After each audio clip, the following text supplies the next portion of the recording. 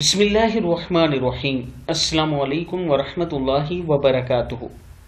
आज मैं अपने दोस्तों को शेख अब्दुल कादर जिलानी का एक फरमान बताऊँगा। आपने इसको गौर से सुनना है और इस पर गौर व फ़िक्र करना है कि शेख साहब क्या कह रहे हैं। तो शुरू करते हैं। शेख अब्दुल कादर जिलानी फरमाते हैं तो अल्लाह की राह में मुस्तहिक को भी दे और उसे भी दे जो मुस्तक नहीं। अल्लाह तुझे वो देगा जिसका तू मुस्तक है और वो भी देगा जिसका तू मुस्तक नहीं।